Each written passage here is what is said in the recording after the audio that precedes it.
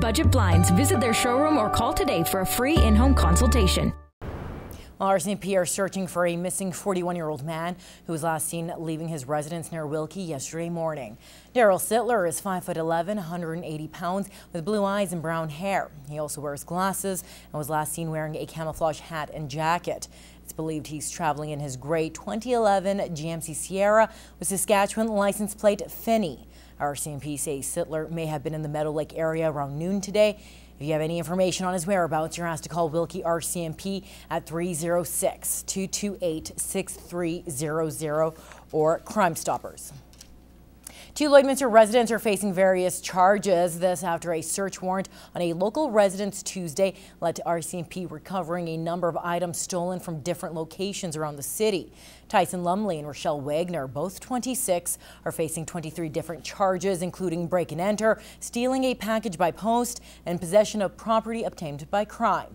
They're both scheduled to appear in Saskatchewan Provincial Court on Monday. Well, with the recent attacks in Paris, Jakarta, and San Bernardino, California, much of the world spotlight has been on acts of extremism. That is why the Ahmadiyya Muslim community launched the Demystify Islam campaign in hopes of clearing up any misconceptions about the religion extremists have caused. We believe our religion has been hijacked by these extremists. The extremists have the people believing what they promote, that is hatred. Imam Tariq Azim with the Lloydminster Ahmadiyya chapter says because of these acts of terrorism, many people have doubts and do not understand the actual teachings of their faith. Through this campaign, we plan to hold over 100 Islam open houses throughout the country. And the purpose of these events is to remove misconceptions regarding our faith that people may have in their minds. According to Azim, the campaign has been extremely successful nationwide, and the local community is hoping for a similar response here. We believe that the gaps, if there are any, between Muslims and those people who are not fond of Muslims, those gaps will uh, go away. Will, we will be able to bridge the gaps through this.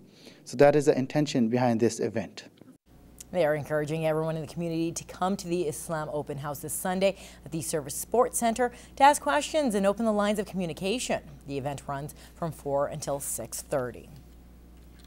The Lloydminster Public School Division held their annual general meeting earlier this week. It featured the division's strategic priorities and successes from the 2014-15 year and included a few of the goals for the upcoming year. Chris Chacon has more. Education is more than just reading, writing, and math problems. It establishes a critical foundation for a future career, regardless of your chosen field. The Lloydminster Public School Division has been working hard to improve the success of students in the community and had the opportunity to share these achievements earlier this week. We had our uh, annual general meeting on Wednesday night at LCHS and uh, like any AGM, it's an opportunity for us as an organization to celebrate the accomplishments and achievements that we've had as an organization with our ratepayers. According to Robinson, the year proved to be a period of progress in more than one area. Our literacy scores are, uh, we're about 80% of our kids in grade 3 are reading at grade level, which is uh, significantly higher than the provincial average and actually already surpasses the target set for 2020 by the province. The provincial average reading level is 70% compared to the division's 78.5% in 2014, which increased even more by 2015 at 79.7. Our graduation rate is at 85% right now, which is 10% uh, higher than the provincial average. And not only that, the numbers significantly increased since the 2008-2009 year, going from 67.4 to 79.6 in the 2013-14 year, and the numbers have only gone up.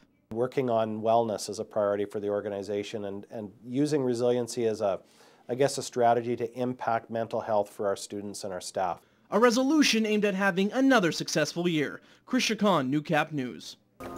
A Lloydminster High School student is preparing for a national competition. Holy Rosary's Blessy Delphin was selected as a finalist for the Miss Teenage Canada pageant, which kicks off with the provincial competition in Saskatoon this spring. Now, Josh Ryan caught up with Blessy to discuss how she feels representing her city, her family, and her heritage. Blessy Delphin has long held a passion for pageantry. It's something she shares with her mother, Eileen. So when she saw the Facebook ad for the Miss Teenage Canada competition, it was a quick decision to apply. And I shouted, I was like, Mom, come here. I saw an opportunity for both of us. After a successful application and on-camera interview, Blessy was named a finalist for the Saskatchewan region of the competition. She'll have the opportunity to represent her school and Lloydminster, a city she has called home for almost five years. I'm really honored to, to represent Lloydminster. It's, it's a very beautiful city. For inspiration, Blessy looks to the recent winner of the Miss Universe pageant, Pia Wurtzbach of the Philippines. She feels this shows anyone can pursue opportunities like hers, regardless of their background. As a Filipino and as a, um, as a resident of Lloydminster, it's, it's just really amazing that I can see people um, from different countries, from different cities joining this kind of competition. It just really drives me to do it also. Ahead of the competition on April 16th, the focus for the family is to rally community support behind Blessy and take care of the expenses involved with competing. Any amount can help when we put all together. It's a huge support for her. And as she prepares for competition, Blessy will continue to lean on her family, particularly mom's wisdom. She told me to sleep early. I will sleep early. Wherever the healthy food she wants me to eat, I will eat it because she knows what's best for me. Josh Ryan, Newcap News.